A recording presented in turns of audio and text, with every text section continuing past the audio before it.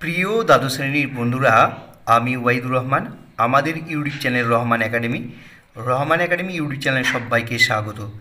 আজ তোমাদের সামনে দর্শন বিষয় নিয়ে আলোচনা করব। দর্শনে ভালো রেজাল্টের গোপন কৌশল হলো তার যথাযথ এমসিকিউ এবং এসকিউ এর উত্তর দেওয়া। তো তোমরা খুব ভালোভাবে এমসিকিউ এবং এসিকিউ প্র্যাকটিস করো। বিগত সালগুলি প্রশ্ন ফলো করো। কীভাবে তোমাদের প্রশ্ন এসছে এবং অধ্যায়ভিত্তিক তোমরা প্রশ্ন উত্তর তৈরি করে যাও। নচেত তোমাদের ভালো রেজাল্ট হবে না। তো ভালো রেজাল্টের সবচেয়ে গোপন কৌশল হচ্ছে এমসিকিউ এসিকিউ এর সঠিক উপস্থাপন।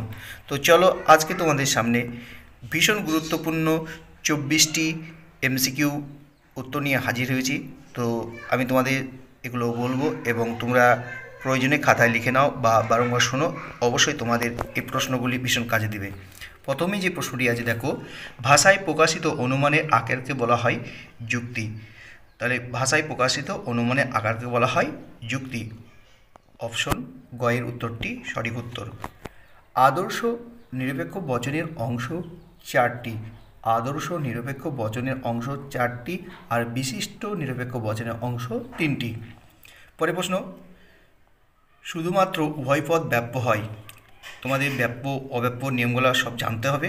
শুধুমাত্র উভয় পদ ব্যাপ্য হয় এই বচনে ঠিক আছে? উভয় পদ অব্যাপ্য হয় আয় বচনে উদ্দেশ্যপদ ব্যাপ্য হয় এ বচনে বিধপদ ব্যাপ্য হয়, শুধুমাত্র বিধপদ ব্যাপ্য হয় ও বচনে এগুলো তোমাদের জানতে হবে।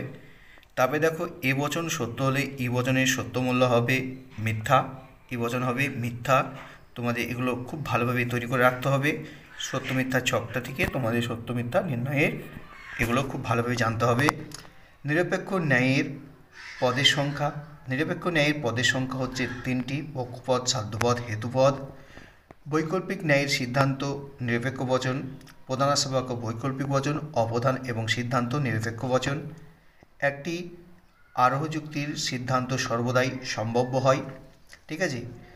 একটি আরোহ যুক্তি সিদ্ধান্ত সর্বদাই সম্ভাব্য বা সামান্য সংশ্লেষক বচন, ঠিক আছে?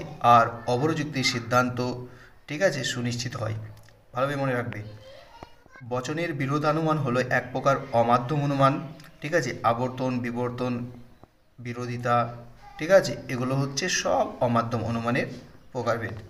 তারপরে দেখো আরও অনুমানের সমস্যাটি হলো সামান্যীকরণ পরে প্রশ্ন, বুলের মতে অস্তিত্বমূলক তাৎপর্য আছে, বিশেষ বচনের, অর্থাৎ আয় এবং ও বচনের অস্তিত্বমূলক তাৎপর্য রয়েছে। লৌকিক আরোহ অনুমানকে শিশুসুলভ অনুমান বলেছেন বেকন। বস্তুগত বিবর্তন স্বীকার করেছেন বেইন। যদি আজ রবিবার হয়, তাহলে আজ ছুটি এটি একটি প্রাকল্পিক বচন। যদি তবে যে বাক্যটি থাকবে, যদি তবে যে বাক্য থাকবে এবং বচনটি থাকবে সেটা হবে প্রাকল্পিক হয় অথবা বৈকল্পিক এবং কিন্তু ঠিক আছে? সংযোগী, নয় না নেই, নিষেধক বাক্য বা নিষেধক বচন, ঠিক আছে?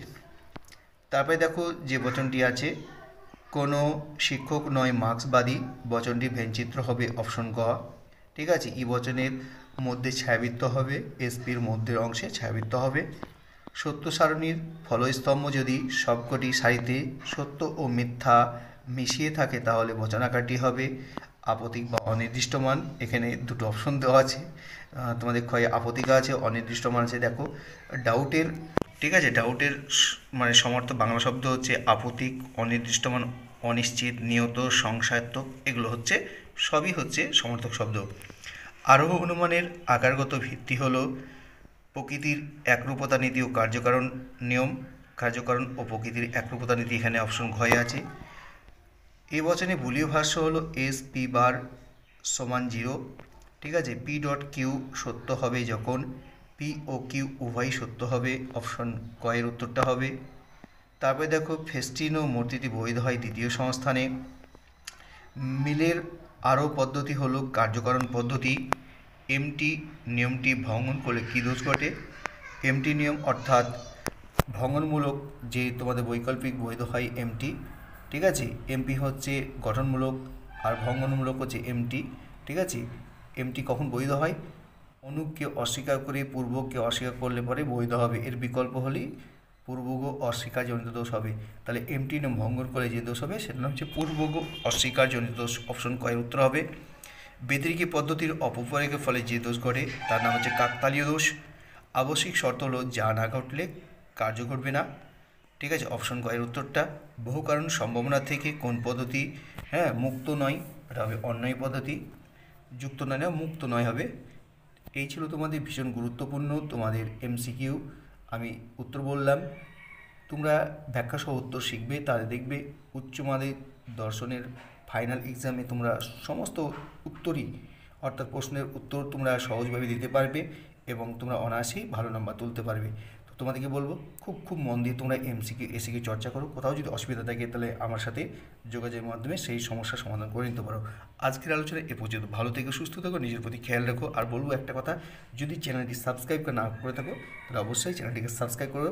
কারণ হচ্ছে তোমাদের জন্যই আমি কেটে ভিডিও বানাচ্ছি। তোমরা যদি আমাকে উৎসাহিত করো মোটিভেট করো, তাহলে অবশ্যই আমি তোমাদের জন্য আরও ভালো ভালো ভিডিও তোমাদের নিয়ে আসব। আজকে এ পর্যন্ত। ভালো থেকো, সুস্থ থেকো, নিজের প্রতি খেয়াল রাখো।